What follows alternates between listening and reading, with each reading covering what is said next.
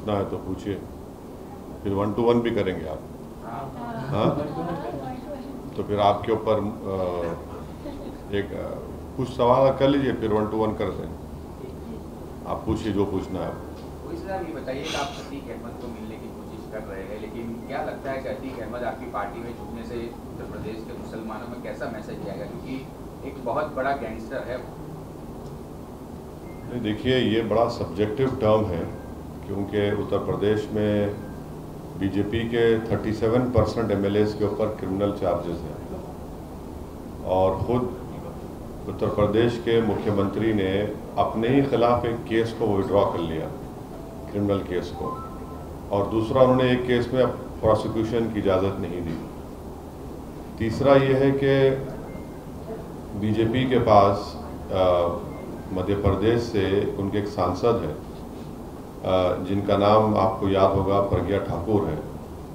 जिन्होंने गोडसे की तारीफ़ की और हेमंत करकरे को श्राप दिया था बदुआ दी थी। तो हमारा मानना यह है कि, और फिर उत्तर प्रदेश के आप सवाल कर रहे हैं, सुप्रीम कोर्ट को ये बताया गया कि उत्तर प्रदेश में यूपी, योगी सरकार ने 77 क्रिमिनल केसेस, सात बीजेपी के लीडर जिसमें मौजूदा अभी प्रेजेंट एमएलएज हैं, जो मुजफ्फरनगर कांड में उनके ऊपर केस हुआ था, उसको विड्रॉ कर लिया। तो अतीक अहमद के ऊपर भी क्रिमिनल केसेस हैं, मैं इसका इनकार नहीं कर रहा हूँ। मगर इलेक्ट्रल लॉ के तहत वो अभी इलेक्शन लड़ सकते हैं। अगर कोर्ट उनको कुछ फैसला देता है तो जब यकीनन देखेंगे। मगर अभी तो कोर्ट फैसला नहीं दिया है। और जिस तरह पर दूसरों पर भी क्रिमिनल केसेस है, इन पर भी क्रिमिनल केसेस है। इनोसेंट अंटल प्रूवन गिल्टी मगर होता क्या है कि अगर किसी का नाम अतीक हो गया या मुख्तार हो गया तो गिल्टी अंटल प्रोवन इनोसेंट का मामला हो जाता है। ये फ़र्क है।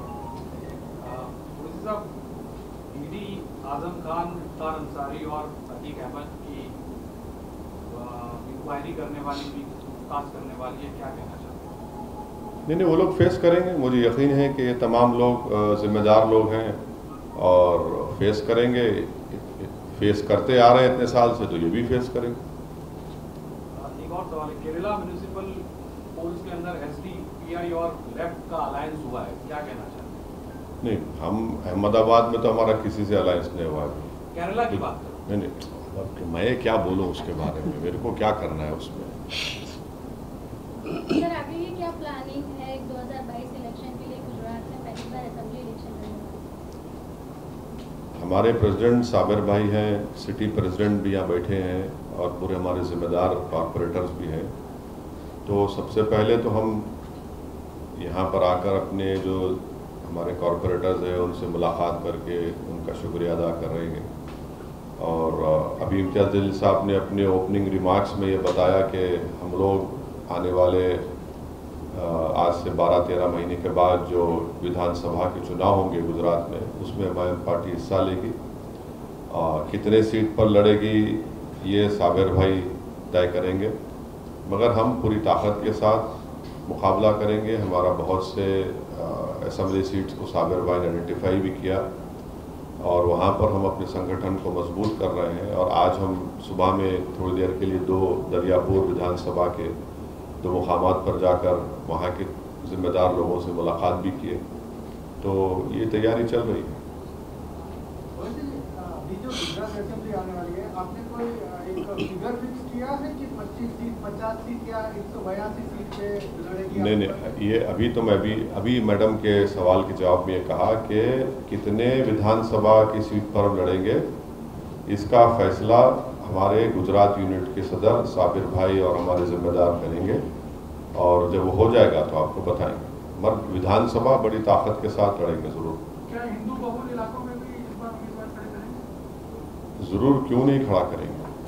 भाई वोट आपको सबका लेना है ना। क्यों नहीं लेना वोट आपको हर वोटर का वोट हासिल करना है आपको।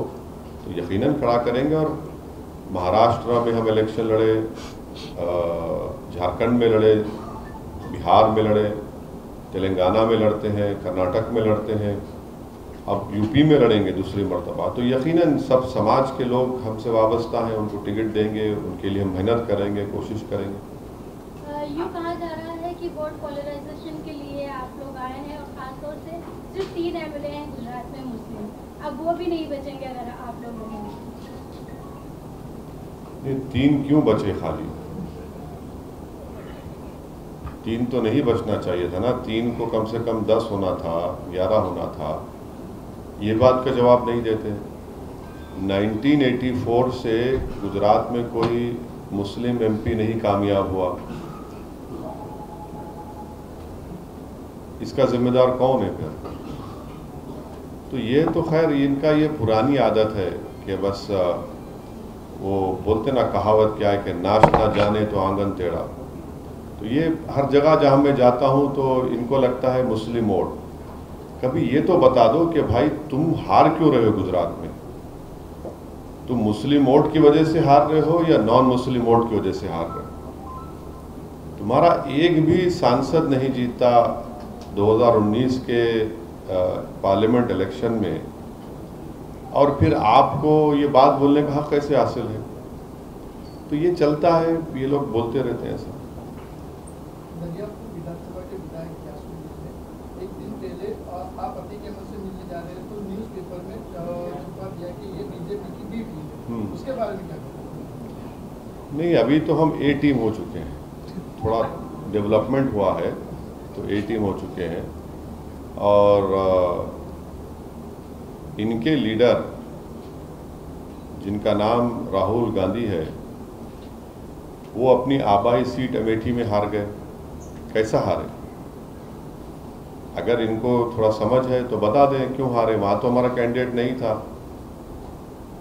इतनी बड़ी सीट अपने पूर्वजों की हार गए और वायनाड से जीतते हैं, वहाँ पे इसलिए कि वहाँ पर 35 परसेंट के करीब माइनॉरिटी वोटर था। तो वहाँ जीत जाते हैं। तो अब ये इनको कैसा है ना कि हमको देखते कि इनको टीम याद आती है। इनको बी टीम कभी ए टीम कभी वोट कटवा। तो खैर, कोई बात नहीं, हमको इससे परवाह नहीं करती। जनता देख रही है, आवाम देख रही है और इसका फैसला करेगी। अभी अभी इस, वो अभी जो मैं जो सवाल आप लोग कर चुके हो दोबारा आप करने से आपका वक्त ख़राब होगा। इसका फैसला साबिर भाई करेंगे हमारे गुजरात की यूनिट के जिम्मेदारान करेंगे और आपको बताएँगे। साहब एक आरोप ये लगता है कि जहाँ पर ओवैसी जाते हैं वहाँ पर बीजेपी को कम्युनलिज्म की राजनीति करने में आसानी हो जाती। अच्छा हाँ। तो ये इम्तियाज़ जलील हैं जानते हैं ना आप इनको? आप ही के बरादरी से थे। अठारह उन्नीस बीस साल थे ना आप? चौबीस साल। जर्नलिस्ट थे। तो इन्होंने औरंगाबाद में जो शिवसेना के एमपी को हराया वो 21 साल का शिवसेना का एमपी था। ये सब लोग बड़े लोग बहादुर लोग तो नहीं हरा पाए। हम कमज़ोर लोग हरा दिए उसको शिकस्त दे दिए। अब उसका जिम्मेदार कौन है? तीस दूसरी बात यह है कि 2019 के इलेक्शन पार्लियामेंट के चुनाव में हम लोग सिर्फ़ तीन पार्लियामेंट की सीट पर लड़े। हैदराबाद मैं हैदराबाद के अवाम का शुक्रिया अदा करता हूँ कि हमने बीजेपी को हराया। दूसरा औरंगाबाद, शिवसेना को शिकस्त दी। और बिहार में किशनगंज, जहाँ पर हमारे मौजूदा एमएलए और स्टेट प्रेसिडेंट अख्तर ईमान को तीन लाख वोट मिले। जेडीयू को तीन लाख पच्चीस, कांग्रेस को तीन पचास। तो भाई, तीन सीट अगर मैं लड़ता हूँ तो बीजेपी तीन सौ जीत जाती है।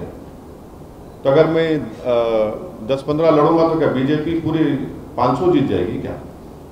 कौन सी दुनिया में रहते हैं लोग? भाई, आप ही के गुजरात के एमएलए कांग्रेस के, वो बीजेपी में भाग गए तो मुझसे पूछ कर गए थे क्या? कर्नाटका में भाग गए। हर जगह उनको छोड़ के भाग रहे हैं। तो उसका जिम्मेदार कौन है? तो इनका ये ये ये जो आरोप लगाते हैं, ये बिल्कुल हकीकत से ताल्लुक ही नहीं है उसका। बीजेपी यकीन हम बीजेपी के खिलाफ है। कौन कह रहा है बीजेपी के खिलाफ नहीं है? पार्लियामेंट में रिकॉर्ड है। पार्लियामेंट में अनलॉफुल एक्टिविटीज़ प्रिवेंशन एक्ट का बिल लाया गया, जिसमें दिल्ली में बैठकर एक एनआईए का इंस्पेक्टर अहमदाबाद में किसी भी एक शख्स को टेररिस्ट लिख देगा। उस बिल की तारीफ़ कांग्रेस की, अमित शाह बिल मूव किए 2019 में, कांग्रेस ने उसकी तायद की, राज्यसभा में उन्होंने तायद की। कौन कम्युनिज्म को बढ़ा बढ़ा रहा है बढ़ावा दे रहा? है तो ये हकीकत है ये, इनका रिकॉर्ड हम बता रहे हैं पार्लियामेंट में आपको। तो इससे कोई मुझे कोई फ़र्क नहीं पड़ता जितने एलिगेशन लगाना है लगाइए। हमको कोई फ़र्क नहीं पड़ता मैं तो मेरी चमड़ी मोटी हो चुकी है।